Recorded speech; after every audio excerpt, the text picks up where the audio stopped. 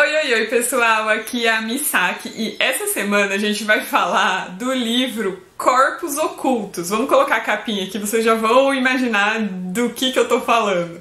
Esse livro aqui, gente, ele é a continuação do livro Você, da Caroline Kepnes. Vocês começaram a conhecer a história por causa da série, né? Eu acho que eu tinha feito vídeo e antes de estrear a primeira temporada, né, da série que eles fizeram adaptando.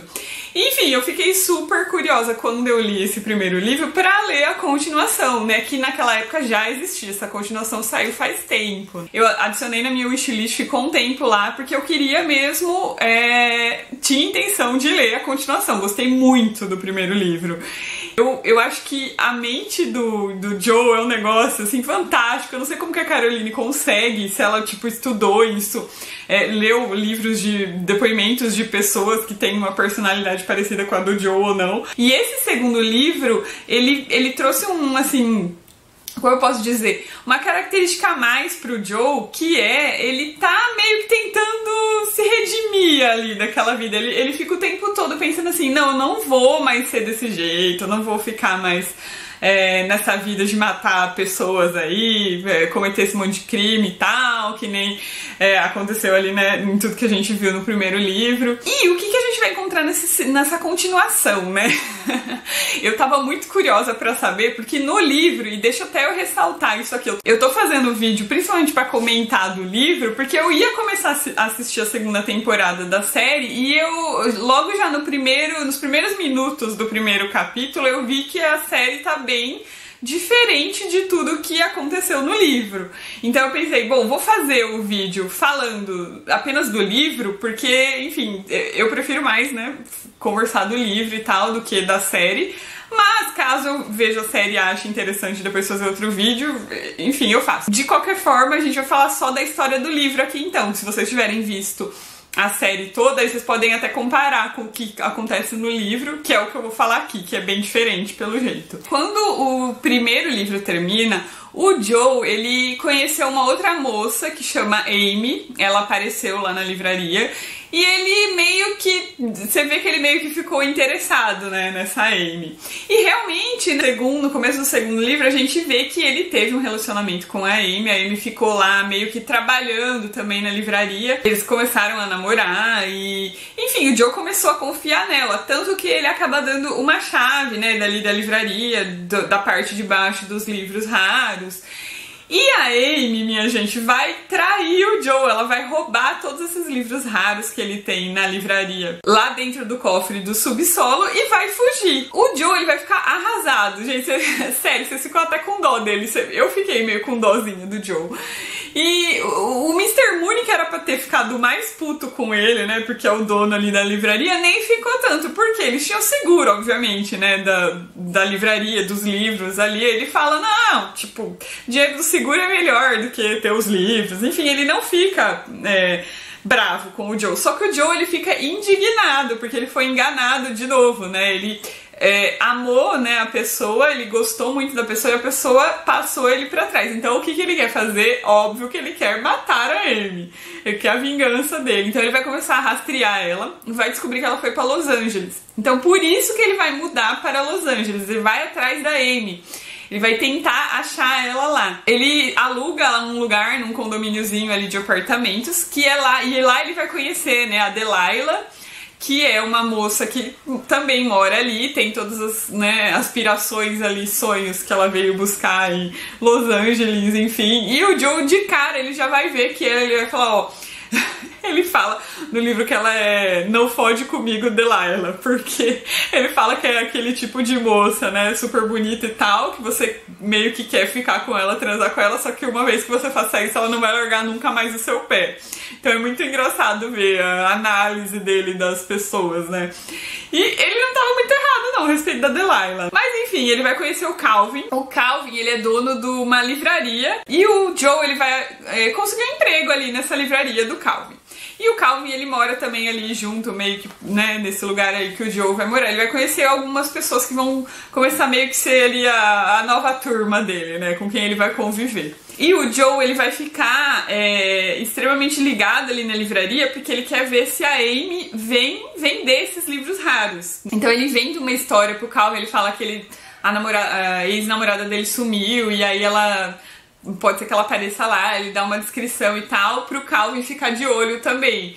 E enquanto isso, ele vai procurando ela em outros lugares, sabe? Ele, ele sabe que ela ia num, num mercado de coisas naturais, então ele sempre vai nesse mercadinho aí X é, que tem né, aos arredores pra ver se ele encontra a Amy lá e fica procurando ela em todos os lugares. Ele vai em testes de elenco, de filmes, ele tenta de toda forma achar ela.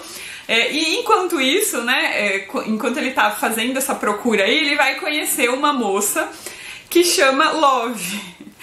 Ele conhece ali uma dessas caçadas aí que ele tá procurando a Amy, de seleção de elenco, ele acha a Love, começa a conversar com ela, né? A Love curte ele. E a Love, na história, ela é um pouco mais velha, ela tem 35 anos, né? e o Joe, ele tem 30, né? Vai fazer ali algo assim. O Joe, ele meio que já tem um interesse ali pela Love quando ele conhece ela e começa a conversar, só que ele tá naquele, sei lá, aquele estado reticente, sabe? Tipo, não vou mais confiar em ninguém, porque todo mundo que eu confio só, só me ferra e tal, né?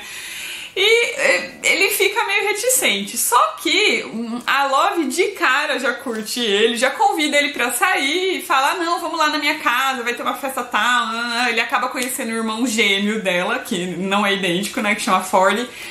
E esse Ford, ele é aquele, sei lá, roteirista frustrado, que ele, a família da Love dele é super rica, né? Eles são donos desses supermercadinhos de coisas naturais aí que o Joe sempre frequenta tentando procurar a Amy. E ele é aquele tipo de cara, sei lá, sem noção mesmo, sabe? Viciadão, que não, não quer nada com nada da vida. Enfim, né? Joe vai descrevendo ele, você conhece ele meio pelos olhos do Joe, só que assim, não deixa de ser realmente aquela pessoa que você vê que não é boa coisa, né? Mesmo que não fosse o Joe narrando. E aí, minha gente, o que, que vai ser diferente nesse livro? A Love, ela vai realmente gostar do Joe, então ele vai ter um relacionamento com ela bem diferente do que foi o relacionamento dele com a Beck e o que a gente imagina que tenha sido com a Candace, né? Que ele menciona. Ah, que, by the way, ela realmente tá morta na história do, dos livros. Então, é, por tudo que ele narra e coisas que ele comenta a respeito da Candace e também da Beck, né, quando a gente leu a primeira parte, a gente vê que elas meio que não gostavam tanto dele quanto ele gostava dela. E é diferente com a Love, vocês vão ver que é bem diferente. E aí ele meio que esquece até dessa caçada dele a Amy, sabe? Porque ele começa a mergulhar tanto aí nessa vida nova com a Love, né, ele começa a se envolver, mesmo sem querer, ele começa a se envolver com ela, ele começa a se envolver com o irmão dela, né, o Ford.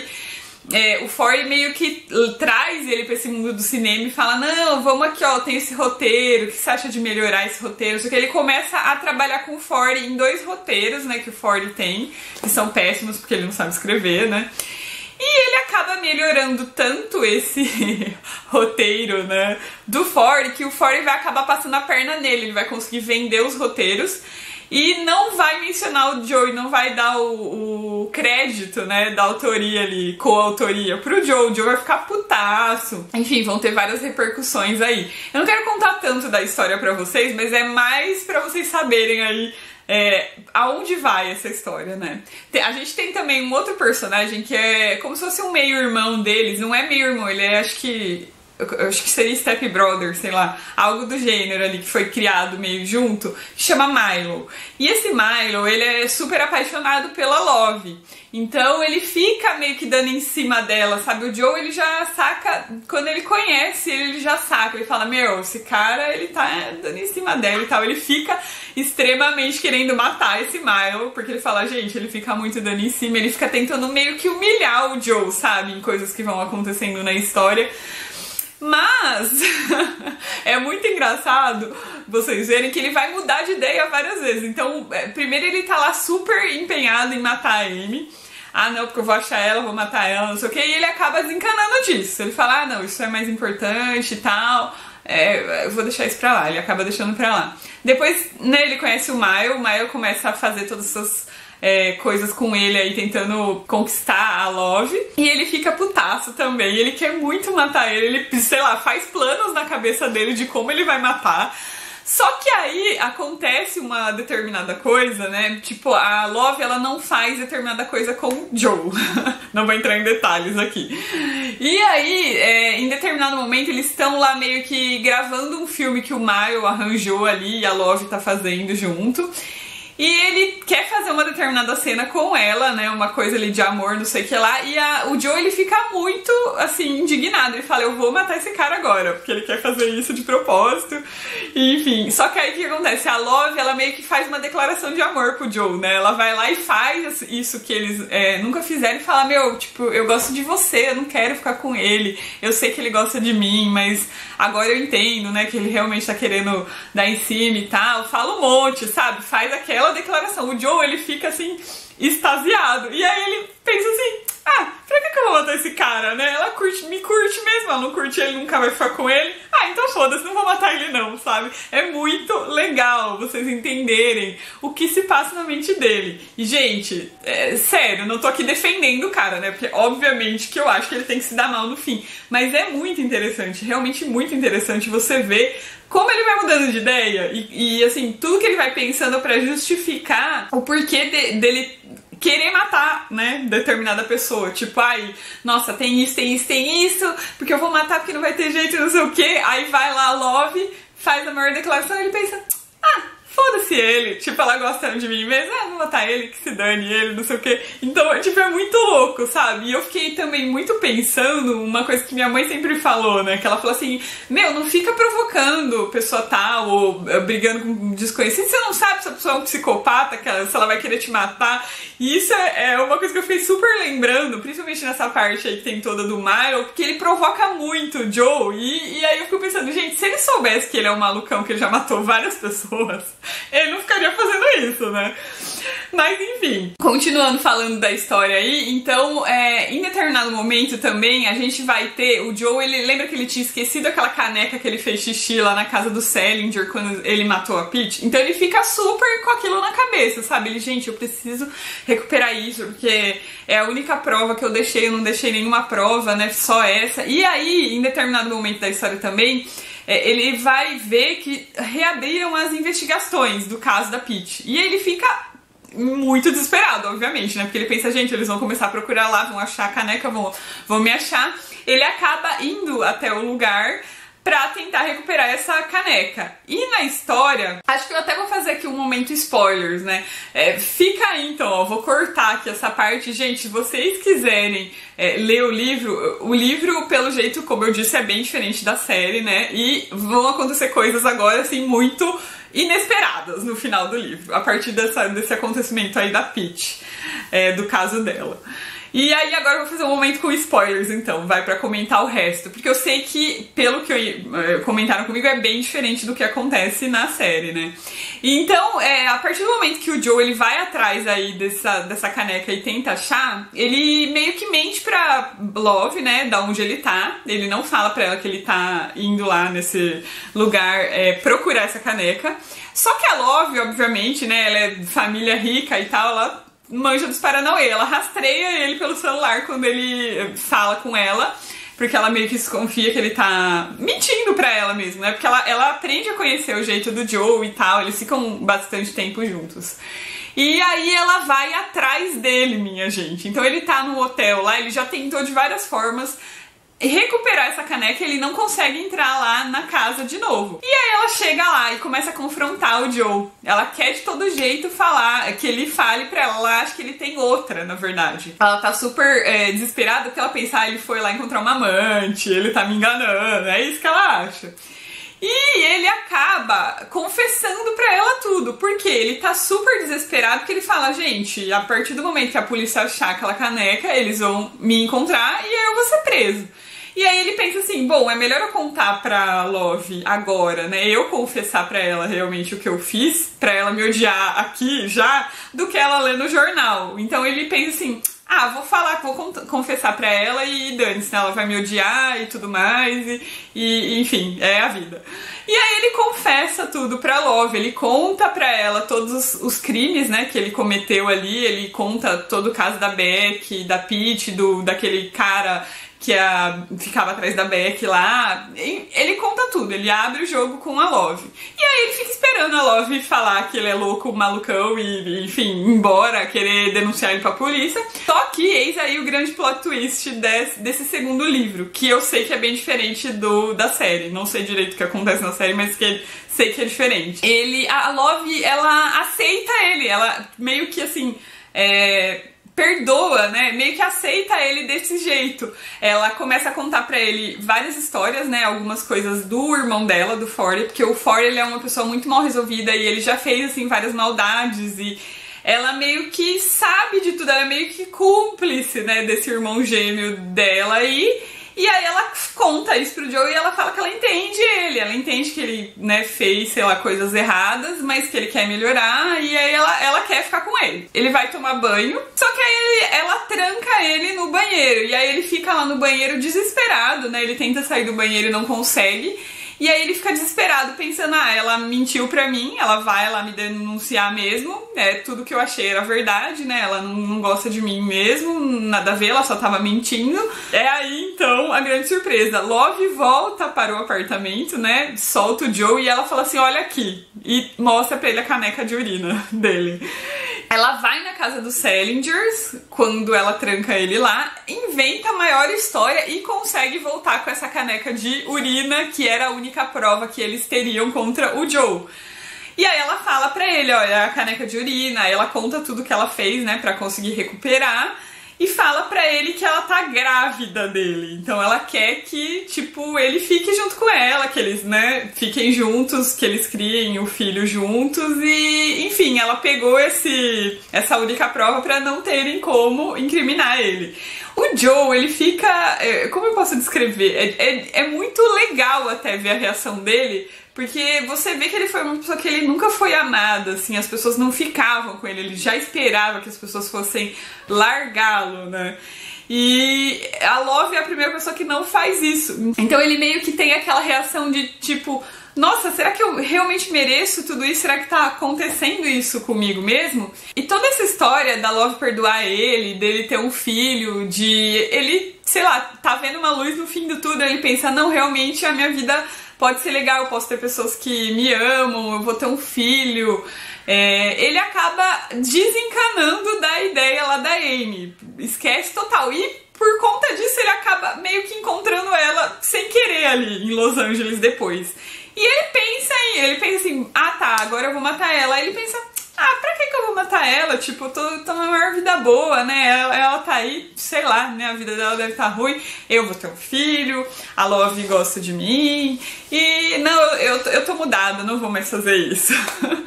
e, gente, é muito engraçado, porque você fica assim, tá, beleza, ele, ele quer realmente mudar, mas será que ele vai conseguir? Porque é aquela coisa, né? A pessoa tem um pino a menos. Não tem como. Ela nasceu com pino a menos. É, e ela vai conseguir mudar? Não sei, será? E a história vai terminar com o Joe meio que na cadeia. Por quê? Aí o que vai acontecer? O policial que tinha visto ele lá naquele no primeiro livro, é, quando ele tava perseguindo ali a Beck nos Hellingers, encontra ele na rede social e vê que ele tem nome diferente. Então ele vê que é meio suspeito tudo ali. E, eles acabam prendendo o Joe como um suspeito do caso. E o Joe, ele tá contando pra gente ali no, no último capítulo que, ah, ele tá lá preso sim, só que a, a Love contratou um advogado super bom pra ele, né? Porque a família dela tem grana e ele não tá falando nada. Então ele, tipo, todo mundo vem lá, os, os policiais eles vêm interrogar ele quase todo dia, ficam perguntando coisas para ele. E ele não, ele não fala, ele fala que não lembra ou, ou dá alguma resposta assim vaga. Por quê? Porque ele tem certeza que não tem nenhuma prova contra ele para os policiais poderem provar que ele é o culpado, né? A única coisa que tinha, Love destruiu. Então não tem como eles provarem que ele é culpado em nenhum dos é, crimes que eles estão é, acusando o Joe mesmo. E aí a, o livro acaba assim, o Joe falando, olha, eu tô preso aqui mas eu tenho certeza que daqui a um tempo eu vou ser solto, porque não tem como eles me acusarem, eu não caio na, nas perguntas deles, né? Porque o, o, o meu advogado ele me instruiu muito bem. E eu também, né, sou super, assim, esperto nesse sentido, não falo nada, não, não fico demonstrando muitas reações. Eu sei que a Love tá comigo, a família dela também tá me apoiando. Então eu vou sair daqui logo, né? E ele tem lá, tipo, a Love que curte ele, ele tem o filho dele que ele quer melhorar pro filho. E a gente fica com um final assim, do tipo, ah, tá, beleza, ele vai com certeza sair, né? Não, não tem nada contra ele, eles não vão conseguir provar. Mas é, fica aquela grande questão: será que ele realmente nunca mais vai matar ninguém? Porque, assim, uma coisa é você querer, outra coisa é seu Pina Menos lá te falando né, inventando motivos para você matar alguém, que é o que ele sempre faz, né? Ai, não, se eu não matar ele, não tem outra solução. Então fica esse grande questionamento aí na história, que para mim é uma coisa sensacional, fantástica, assim. Para mim é o supra-sumo ali da história, né? Essa grande questão de tipo, ah, eu, eu quero mudar, mas será que ele vai conseguir mudar, né? Por tudo que a gente já viu a respeito da personalidade dele. Eu sei que a série, eles foram para um lugar completamente diferente aí no final, eu ainda não vi, mas sei que sim, porque eles vão fazer uma terceira temporada. Então, se vocês quiserem ler o livro, é, até aconselho, né? Se não assistiram a série ainda, lerem o livro primeiro. O livro vale super a pena. É, tenho certeza que a série também deve ter sido boa, vou assistir. E a gente fica por aqui então. Próxima semana a gente volta com alguma outra resenha belezinha. Um beijão